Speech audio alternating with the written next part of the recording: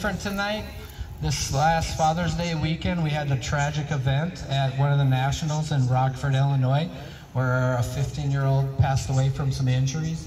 So in honor of Carson Stoffel tonight, our parade lap is going to be these five gentlemen standing at attention on the first obstacle and no one else riding the, the track.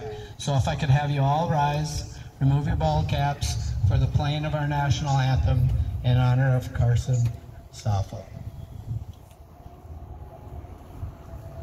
Can you see by the dawn's early light what so proudly we hailed at the twilight's last gleaming, whose broad stripes and bright stars